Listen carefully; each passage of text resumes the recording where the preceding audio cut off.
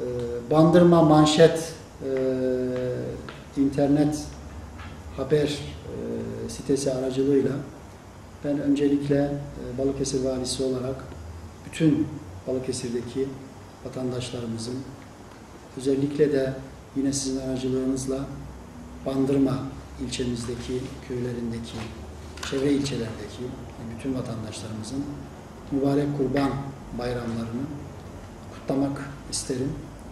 İnşallah bu bayram geçmişte, geçtiğimiz günlerde yaşadığımız acıları, sıkıntıları bir nebze olsun bize unutma, hafifletme imkanı verir diye düşünüyorum.